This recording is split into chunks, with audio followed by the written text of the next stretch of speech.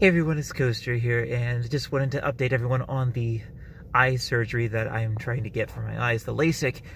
It turns out they said I am a perfect candidate to get LASIK. And I, just, I'm like, I'm so excited because this, we've already scheduled the surgery, and the surgery is going to be on the 22nd, so I'm like so happy about it.